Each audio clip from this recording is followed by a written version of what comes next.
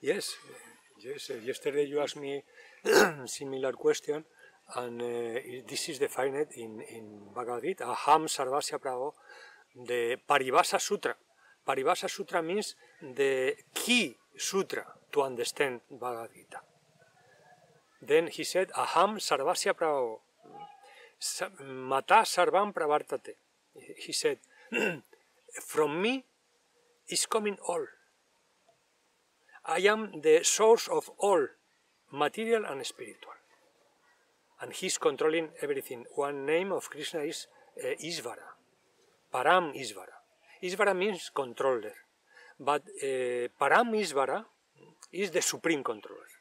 He's controlling, it is said in the Vedas, no one, uh, no one herb move with the consent, consent of Lord.